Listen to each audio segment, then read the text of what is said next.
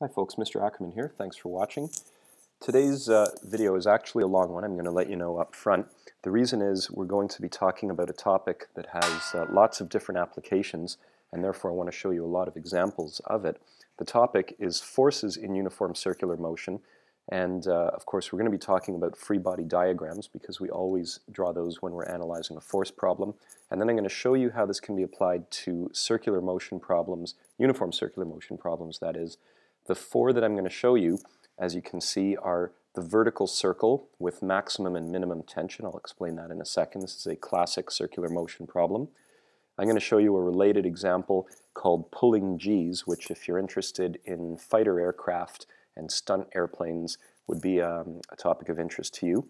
I'm going to show you an example called the banked curve, which uh, applies to car racing and also just to driving in general. It's a civil engineering problem, so for those of you who are interested in engineering, you'll want to pay attention here.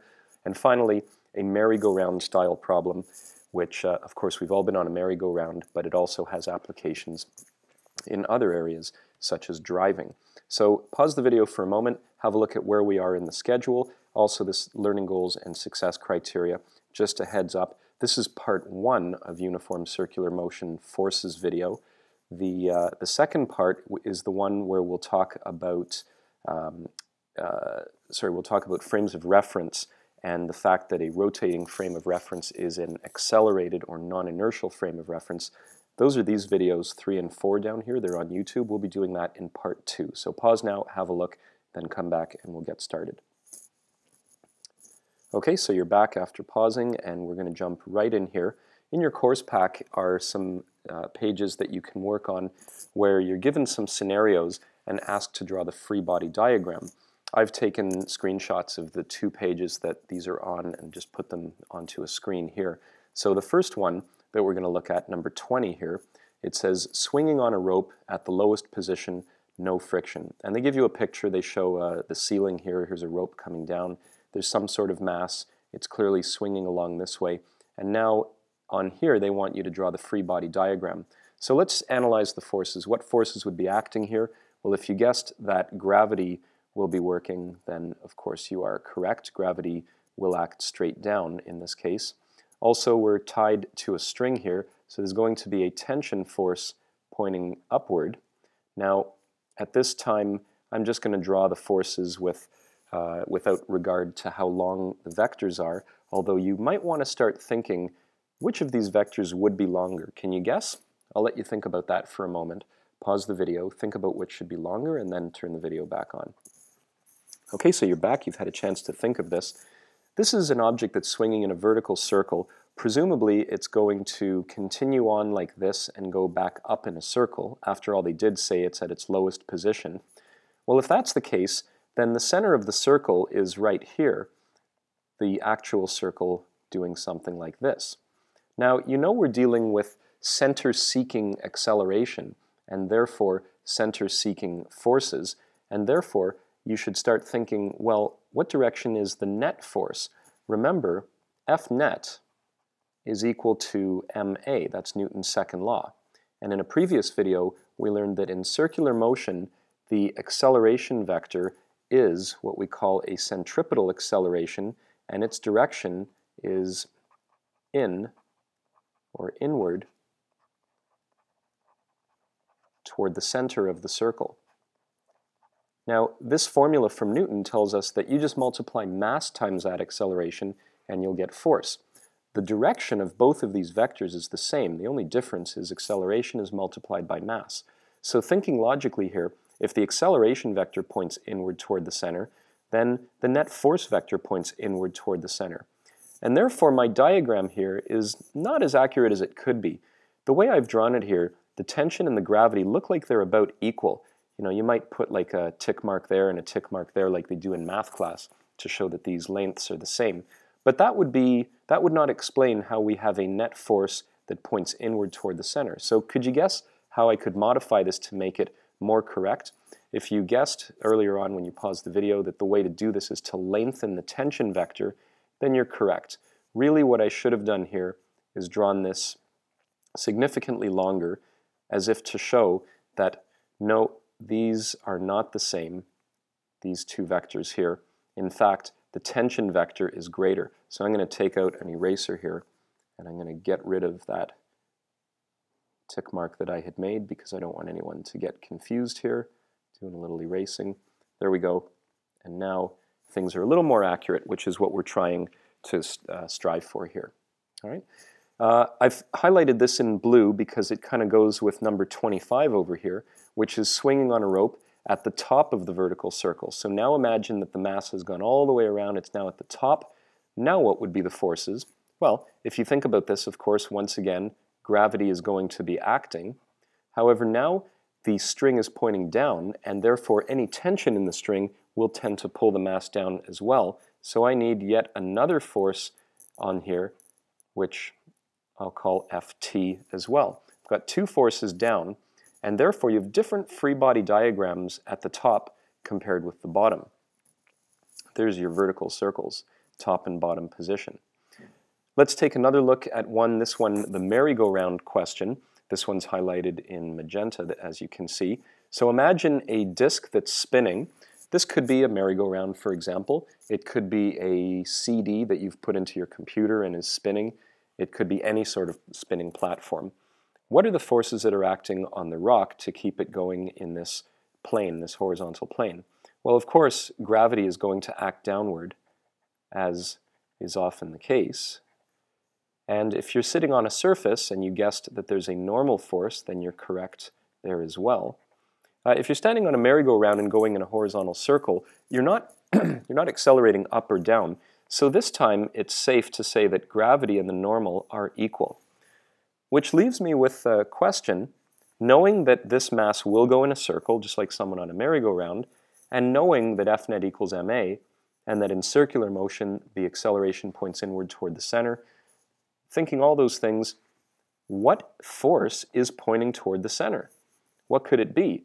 So take a moment, pause the video, and think, what force acts inward when you stand on a merry-go-round and go in a circle? okay, you're back.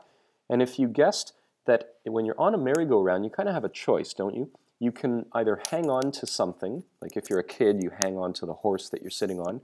If you're a parent or an older brother or sister, you might stand beside the horse, but you still hang on to one of the poles.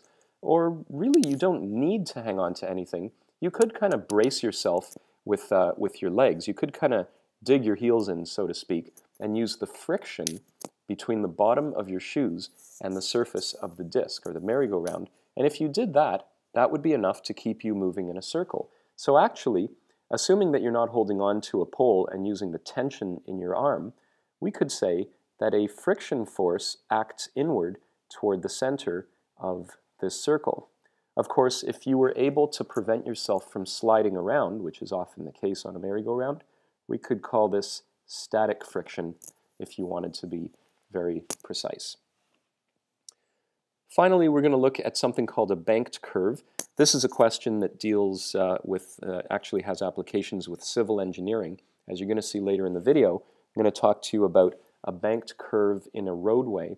Uh, if you've ever been driving, especially on the on and off ramp of a highway, you'll notice if you look out in front of the car that the curve is actually sort of tilted on an angle, and we call this a banked curve. In this example here, they ask you to imagine a cone that's, uh, that's uh, hollow, and there's an object on the inside, and the object is sort of going around the cone like this. If you've ever been to um, one of the malls in your neighborhood, and you see sometimes in the middle of the mall they have this, this uh, it's like a cone, and you can put a, a quarter or a loonie or something like that in, and it will, it will fall down a little pathway, and then it'll roll around before going down into a bin and this is for charitable donations. If you've ever seen that, it's kind of like what we're talking about here. Those coins can go around and around an awful long time. They're kind of on a banked curve. What are the forces that are acting? Well, once again, gravity is going to be acting, but pause the video now and see if you can pick up on the other forces that are acting. Okay, I'll assume that you've had a chance to do that and you're back. Note that we're on a slanted surface here, so if I just draw this in, like that. There's our surface.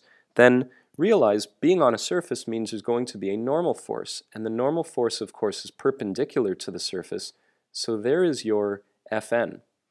Is this starting to look familiar? Are you starting to think of inclined planes? Because if you are, then you're thinking along the right lines. We're actually going to have to borrow some of our physics ideas from, from way back in uh, Unit 2, actually not so far back, and what we're going to borrow from there is the idea of inclined planes and two-dimensional forces. So keep that in the back of your mind when we get to this. Right now, I'm just going to mention one more thing about the forces in uniform circular motion, and then we're going to dive into the actual problems. So, as I mentioned up here, F net, of course, equal to ma. That's Newton's second law. And as we said, the acceleration is the centripetal acceleration that we looked at previously. What are the formulas for centripetal acceleration? Well, one of them is v squared over r. So if I replace a with v squared over r over here, I get one of the centripetal force, as it's called, formulas. Another thing I could do is say acceleration, if you recall, is also 4 pi squared r f squared, if I want to talk about frequency, and multiplying that by mass here, I could just multiply the m in there your, your textbook just rearranges it a little bit, and they call it 4 pi squared mrf squared. So there's yet another formula for the centripetal force, the force pointing inward toward the center that's causing the circular motion. And finally, I have a third option. I could multiply m times the other acceleration formula, 4 pi squared r over t squared, which what your textbook does, they move the m over. That's going to be 4 pi squared mr over t squared. So what we're going to do now is we're going to look at three examples which coincidentally, or not coincidentally, I planned it that way, they coincide with what you see in blue here, the vertical circles, what you see in green here, the banked curve, and what you see in magenta here, the merry-go-round type question. I'm going to show you how to solve three classic problems using one or more of these formulas down here, just the old acceleration formula times m. Ready? Here we go. So the first one, which by the way is in your textbook, the textbook being Physics 12 by Nelson, so this is where I'm borrowing this from. This is sample problem 3, which is in your, uh, your book in section 3.2. And it says there's a steel ball that is swinging on the end of a rigid steel rod at a constant speed. So we know that we're talking about uniform circular motion because the speed is constant and also the radius is constant at 1.2 meters. They give you the frequency and they ask you to find the magnitude of the tension in the rod at the top and then at the bottom of the circle. Now your book goes through this so you can follow along in their solution, but I'm going to explain it to you as well. Here's our circle. And we can imagine the mass is going around perhaps like this. And the question says, find the tension in the rod at the top and also at the bottom. So here we are at the top, and here we are at the bottom, going to imagine the mass in two positions. Now, let's uh, save some time by looking back and realizing it's these free body diagrams that we developed a little bit earlier that we're going to borrow. So go back here and we can put down that at the top here you've got Fg and you've got F tension, the tension in the rod. And then at the bottom you have Fg which would be the same as up here. That would just be equal, of course, to the mass times 9.8. However, the tension, of course, this time is up. And it's got to be significantly more than gravity because if it weren't, there wouldn't be a net force upward. Well, we've got a name for this net force upward. It's called the centripetal force. We've got a name for the net force which you can see is pointing downward here. That's also called the centripetal force. And if we're dealing with uniform circular motion at a constant speed and a constant radius, then we have three formulas we can write for the centripetal acceleration, sorry, the centripetal force. They are these three down here. You want to pick one of these that suits the problem. Is it one with speed, one with frequency, or one with the rotational period? Well, let's take a look. Here they talk to us about frequency, so it makes sense we're going to use a formula that says Fnet equals 4 pi squared mrf squared. And now I think it's time we can even start calling this F centripetal. Means the same thing, has the same formula. Centripetal force is just a fancy word for net force when you're dealing with uniform circular motion. Now what do we do here? Let's start with the top. So I'll do this one in blue. At the top we have two forces going downward. I like to keep things positive, so I'm going to call the downward direction positive. I write Newton's second law, F net, which is positive Fg and positive Ft. I know that in uniform circular motion, the net force is this. I know that Fg is equal to mg, and I know that Ft, well, that's actually my unknown. There is no uh, magical formula for tension. You're going to calculate it based on Newton's second law. When you rearrange here, you're going to get 4 pi squared mrf squared minus mg. I'm going to leave it to you to sub in the numbers and calculate the tension force magnitude in newtons. At the bottom, let's see what we're dealing with. I'll do this one in red. Now I've got a decision to make. I have forces going up and down. What direction do I want to be positive? Which do I want to be negative? Uh, well, since I have both directions, I'm going to keep down negative, up positive. See how I have a different direction that's positive in both cases? That's fine. I'm really solving two separate problems here. They're not identical problems. Once again, I write F net equals, and what have I got? I got positive Ft this time, but I've got negative Fg this time. It's pointing down. So writing 4 pi squared mrf squared equaling positive Ft but negative mg, look what I get when I isolate ft. I get 4 pi squared mrf squared. Bring this across, I get plus mg. Once again, you can sub in the numbers and see what you get. But do you see right away something interesting happens, which if you think about this should make sense. At the top, I have some number here minus the gravity force. At the bottom, I have that same number plus the gravity force. So right away, you should see, even without subbing in numbers, there's going to be more tension at the bottom than there will be at the top. And does this make any sense? Well, what I want you to do right now is get something tied to the end of a string. It could even be your shoes uh, hanging by the shoelaces. And just spin it in a vertical circle and try to feel in the string or the shoelaces when is there more tension, at the top or the bottom? You'll see that actually at the bottom there is more tension because now the string has to pull the shoe back up and it's got to overcome gravity. So it's got to be more than at the top where gravity is actually assisting, if you will, the circle to progress. All right, so that's how you solve a vertical circle problem. And now I'd like to get into a neat application of this. And by the way, this is where the fact of the day or the fact of the video is going to be. So if you've been listening, you just found it. Uh, it's called pulling G's. And the first thing I want you to do is to imagine that you're lucky enough to be uh, allowed to go on a ride in one of these fighter aircraft, really agile, fast, maneuverable, powerful airplanes. And they're whizzing around and, you know, it's a two-seater aircraft, so a pilot's going to take you for a ride. You're just going to go in the back seat and, and enjoy, or at least try to enjoy. Now, how does it work to be in one of these things? Well, you could imagine yourself kind of like the mass on the end of a string in this question. So that's how these are related. But you won't be pulled by a string, of course.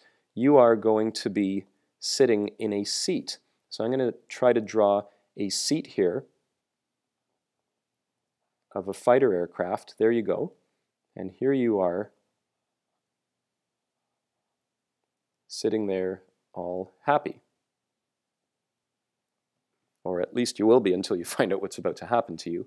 Uh, let's think about the forces that would be involved in getting you to go into a vertical circle like this. If you've ever seen a movie with airplanes. You know, they're always flying in circles, trying to impress everyone and blow everyone up. Well, you're going to do the same thing. You're going to be part of this aircraft making that circle. What forces are acting on you? Pause the video for a moment and see if you can identify the forces acting when you are at the bottom of this loop. Okay, you're back now. You've thought about the forces. Hopefully you've got gravity acting there. We are on Earth. Gravity is going to act. However, what other forces are acting on you? Well, you're sitting on a surface, so the normal force is acting on you in this case. And in fact, not only should you have drawn a normal force, but I hope you drew the normal force significantly larger than the gravity force to reflect the fact that if you are going in a circle and the circle's center is up here, when you're at the bottom, the net force must point upward. So what are we going to get here? We're going to have fnet equals, I better designate a direction as positive, I'm going to call up positive, just like I did back here at the bottom, okay? So fnet is, uh, is equal to positive fn minus fg. And if we rearrange this, something interesting happens. We get fn equals uh, fnet plus fg. Now, remember, I always have a choice of which fnet formula I want to use. Do I want to use mv squared over r, or 4 pi squared mrf squared, or this one over here? Depends on the problem, but quite often in air, aircraft, uh, when we're talking about airplanes, we'll often talk about how fast the plane goes. So, I don't know, maybe this plane if you know, these planes can travel faster than the speed of sound. They can actually go well in excess of 1,000 kilometers an hour, but they don't always fly that fast. They might fly that fast when they're trying to get somewhere in a hurry, but when they're actually maneuvering around, the faster they go, it, the harder it is to maneuver. Just like it's harder for you to make a turn in a, in a, on a bicycle that's going very fast than it is when one is going very slowly. So what speeds should we consider? Certainly not the speed of sound. Let's just imagine for argument's sake that the plane is going 500 kilometers per hour. Uh, and of course, you would have to convert that into meters per second. And maybe we'll do that in a moment. Uh, so since we're talking about speed, I'm going to use the mv squared over r version of the fnet formula for circular motion. Of course, gravity is still mg. Now, what is this formula telling me? It's telling me something very interesting. It's telling me that if I go in a circle and I'm at the bottom of that circle, the normal force acting on my body will be mg, which is what it usually is. Maybe we could call mg, let's call mg the your usual Fn. This is what you usually feel when you're standing on the ground. Fg down Fn up, right? Kind of like a basic grade 11 normal force question. However, this is telling me that if I want to go in that circle, because I'm accelerating, I'm going to get something added to my normal force. And that, of course, is due to the acceleration. In other words, my normal force is going to increase. And if you think back to what we talked about when we began talking about normal force uh, in, in chapter 2, remember normal force is what you feel on a daily basis. It's, it's what you feel if you stand on a scale. It's actually the feeling of weight. Do you remember that? It's not your actual weight, it's your feeling of weight. Remember, scales don't measure your weight, they measure your apparent weight. So I'm going to write that in there too. Now since these terms are added, it means that pilots, when they do these circles, feel heavier than normal. And in fact, if you do a calculation involving a typical speed for one of these planes, and maybe a radius that's typical, uh, what would be a typical radius? Uh, maybe it would be hundreds of meters, Maybe a, a larger circle would be thousands of meters, something like that. If you plug these in, you're going to get a large number in here compared to this, which means you're going to feel a lot heavier than you normally do. And this has some very interesting implications. For one thing, every part of your body will be hard to lift up. It'll be very hard to lift your hands and your legs, and even your head could sag downward. Not only that, but the blood that your heart is pumping up toward your head will be heavier, and your heart, being only so strong, may not be able to pump enough blood into your head. You'll start to pass out due to lack of oxygen to your brain. Pilots call this blacking out. And I'd like you now to go, if you look in the uh, unit schedule here, it says pulling 7Gs. Exactly what we're talking about is a video of a guy who came along for a ride in one of these airplanes. And let's just have a quick look at what's happening to him. Sorry, this one isn't exactly the video. It's this one down here. There we go. So I've, I'm going to mute the sound here. But this one, I want you to go watch it right now. Okay, so pause the video and check this one out. It's in YouTube. Once you've watched it, come back. Okay, so now you're back, you've had a chance to watch this, and you saw that the guy passed out a few times while he was involved in this, uh, in this ride that he thought was going to be fun. And you can see they're talking about how the blood gets pushed downward due to the apparent weight. Now, fighter pilots naturally have to be able to withstand these forces, and so they train, they're very, very fit, and they train with special techniques to find a way to keep the blood in their head. Otherwise, they can pass out when they're doing these maneuvers, like the guy is doing right now. Uh, passing out won't be a problem for this guy. Once the pilot starts flying level again, or, or eases out of the turn, the blood will return to the passenger's head. However, uh, this is a big problem if you're a fighter pilot and you let this happen. You're the pilot, and now your airplane could crash. So anyway, there's something very interesting. And the fact that I want you to be able to reproduce in class is the following. In class, I'm going to give you a mass for a person, and I'm going to give you the speed of the airplane and the radius of its path. And I'm going to ask you the following. The following question, which is, what is the pilot's apparent weight And so you're going to calculate this Fn. And then I'm going to ask you this. How many times greater is this than his normal or his usual weight? And that's when you're going to calculate, you're going to think like a grade 11 student, you're just going to calculate Fn equals Fg equals mg. And then I'm going to ask you, when you calculate this, how many times, so you're going to divide this number by that number, you'll get a number something like 6, 7, 8, 9, 10. These are typical numbers for fighter pilots, and that's what we call G's. And that, of course, was the topic of this slide. They call it pulling Gs. If you make your normal force, your apparent weight, eight times your usual Fn, then we call it pulling 8 Gs. So in class, you're going to have to calculate how many Gs when I give you a mass, a speed, and a radius. And by the way, if you do this calculation, hint, hint, you're going to see that the mass cancels out. It actually doesn't matter how heavy you are the number of G's being pulled is the same. So give that a try, okay? That is your fact of the day, how to calculate this and what it means. Moving on, I'm going to look at another example. This one for civil engineers, this is called a banked curve. And looking back at our free body diagrams here, it's the green one here that I want you to think about. So as we go in here, let's read the problem.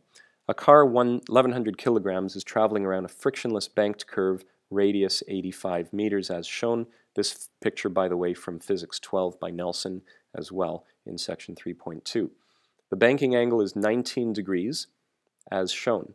And they ask you a number of questions such as what force is applying the centripetal acceleration, uh, what speed is needed for the car to go safely around the corner, and how does the required speed for a more massive vehicle such as a truck compare with the speed of, that, that is required for this car? Well, first, let's just recall that since we're on a banked curve and the roadway is kind of like this, it reminds us a lot of inclined planes. So I'm just going to draw one for now, and we're going to put theta in here. And if you think back to when we learned about inclined planes, what did you have? Well, we had gravity acting straight down, and we had the normal force perpendicular to the surface, of course. And if you recall, when we learned about this the first time, we did the following. We said, let our frame of reference be rotated around so that this is the x direction and this is the y direction. Do you remember that? This is like if you had a skier going down a hill. If a skier is going down a hill, the direction of motion is that way. The direction of the acceleration is also that way. However, to see what's happening on a banked curve, I want you to watch a video and then tell me whether you think this should be the direction of motion. So here's another video. This one is in your homework schedule as well. It's this one here, Harvick wins 2010 Coke Zero 400. Go to that right now. I'm going to show it to you. Uh, I already have it downloaded onto my computer, but here we go. It's this one here. Watch these cars at a race. This is a NASCAR race, so stock car racing in the States. You can't quite see it yet, but in a moment you're going to see how they go around these curves, and you're going to see, it's going to be clear in a moment, there we go. The road is clearly on an angle. In fact, it's on quite an angle. That's no small angle. You wouldn't see that uh, anywhere in the city on a regular road, but you will see it on the turns in this kind of race. And so one other thing I want you to notice, do the cars slide down well, actually, I guess I asked that at the wrong time. Yes, the cars slide down the, uh, the inclined plane if they hit each other or something goes wrong, but that's not what I, that was kind of funny coincidence. Here, you'll notice the cars don't slide down the ramp the way a skier would. They stay at the same level. And by the way, they're making a circle. The inside of the circle is somewhere over here. Therefore, the centripetal direction is to the right here. I want you to keep that in mind as we go back to a diagram here. My point from all this is that you do not want to do this because that is not the important direction in this question. The important direction is inward toward the center, going this way. That's the important direction. And therefore, what you want to do is maintain your customary positive y going up and, you know, x positive in the direction that we care about, which in this case is toward the center of the circle. See, the center of the circle is right here in the diagram. Now, if we do this, let's analyze what happens. And I'll just erase some of the clutter here. I don't want this. That's for skiing up, and well, not skiing up a hill, but skiing down a hill, or maybe moving something up a ramp, like, like when you're moving furniture. Okay. What we're interested in, of course, is this direction. This is the direction of the centripetal acceleration. So what do we get? Knowing that up is y, I'm just going to put that in here. Knowing that to the left is x, I'm going to put that in here. Now, recall, theta is here. I've got a parallel line here and with the x-axis, so that makes this also theta. And for that matter, here's 90 degrees, so in here I have 90 minus theta. And of course, these guys make a right angle, which makes this theta up here as well. So the angles that we want to highlight are a little bit different than the skier example as well. Here we have theta up top. Now, let's look at what's going on. F net is still equal to whatever forces are acting. We've got Fn and we have Fg. However, very important, this is in two dimensions.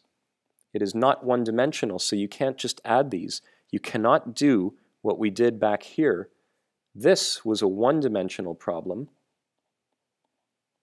all the forces were in a line. So it was easy just to add or subtract. You cannot do that in this question because it's a two-dimensional question. How do you deal with two-dimensional vectors? Do you remember? Of course you remember. You use components. Fn equals something comma something. Fg equals something comma something. And that's all equal to f net equaling something comma something. Now what are all the somethings? Well, let's start with easy stuff. Fg, 0, and negative mg, right? Because remember, up and down is y this time, so there's no mg sine theta, mg cos theta. The normal force, however, is not exactly on the y or x-axis. It's got both. It's a bit positive x, it's a bit positive y. Check it out yourself to make sure that you understand why. The x direction is fn sine theta, and the y component is fn cos theta. And so finally we get down to the net force.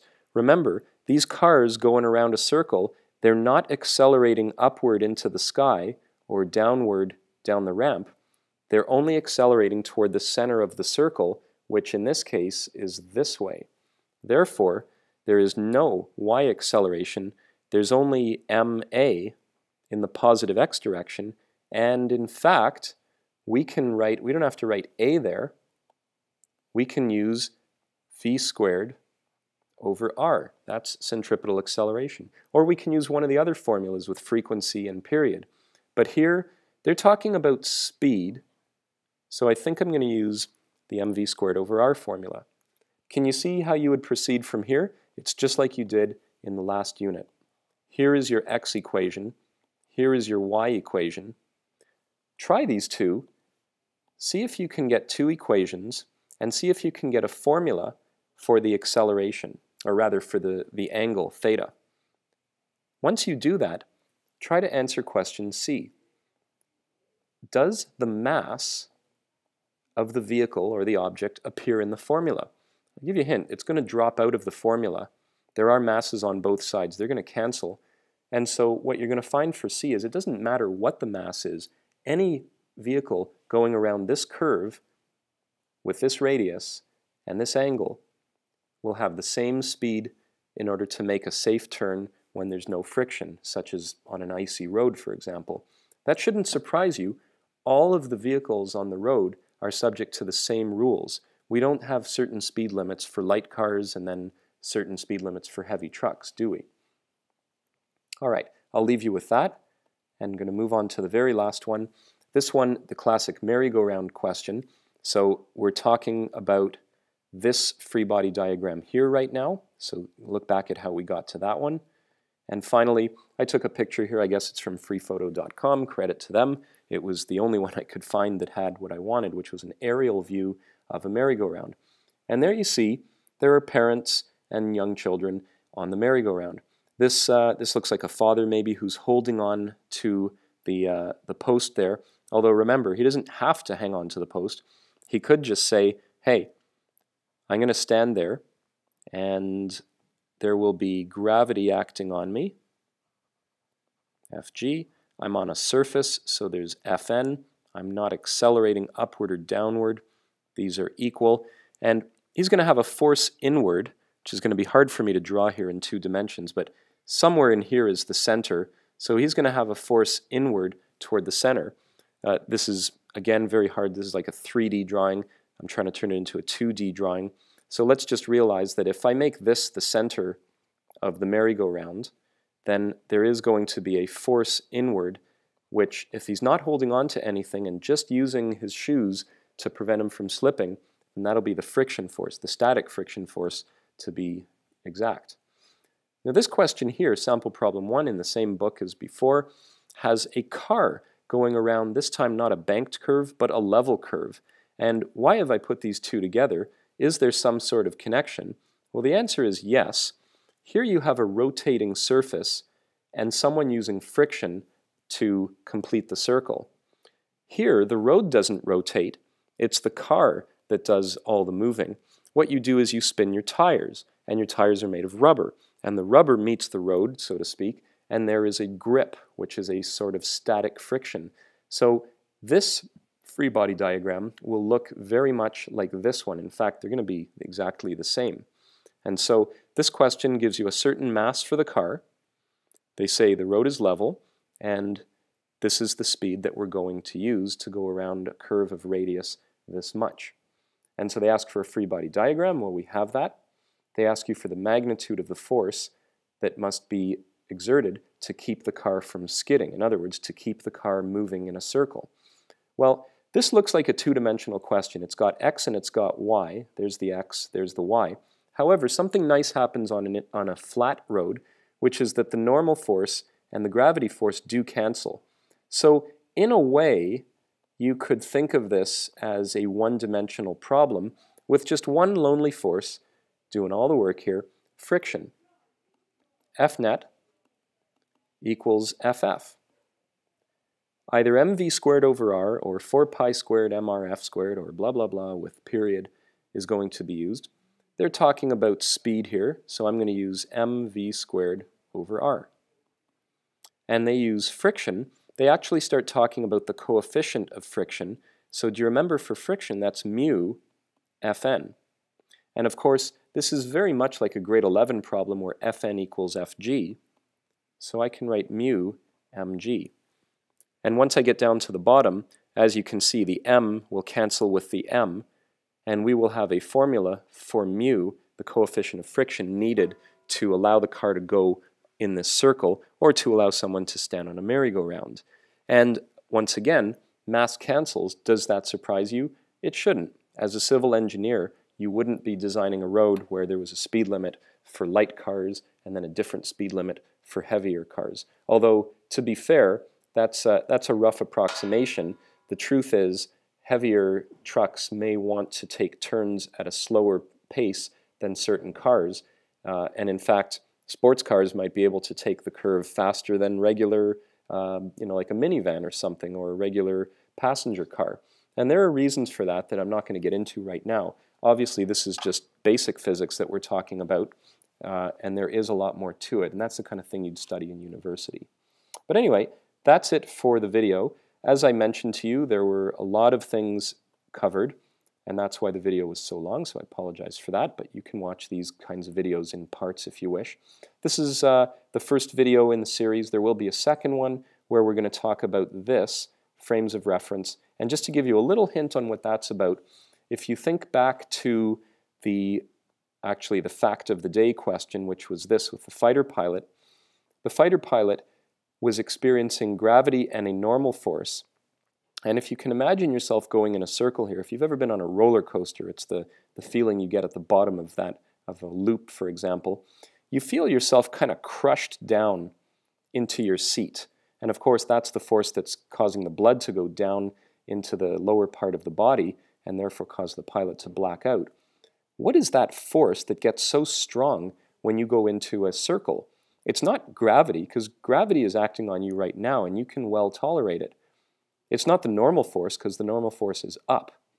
It's actually a force that only happens if you're accelerating in a circle, and we call it a fictitious force. I would only draw this force in the frame of reference of the plane because that's a non-inertial frame of reference. The fictitious force, if you've ever heard of this before, it's called the centrifugal force, not the centripetal. I know when I mentioned the word centripetal, many of you thought I was just getting the word wrong and saying, uh, you thinking that I meant centrifugal. It was actually centripetal that I meant. Centrifugal is coming up in the second installment of this video series where we will talk about fictitious forces. All right, folks, there goes the bell. I got to go. Thanks for watching, and I'll see you in class.